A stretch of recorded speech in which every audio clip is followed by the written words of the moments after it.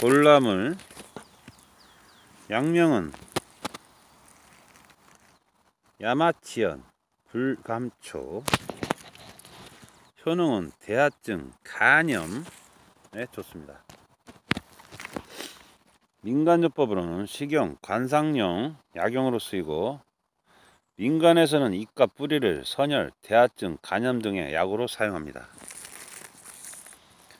간염이나 대하증에 돌나물 줄기와 잎을 찧어서 즙을 낸 후 적당한 양으로 계속 복용하면 아주 좋아집니다. 예로부터 봄에 비타민C가 가장 풍부한 돌나물을 많이 애용해왔다고 합니다.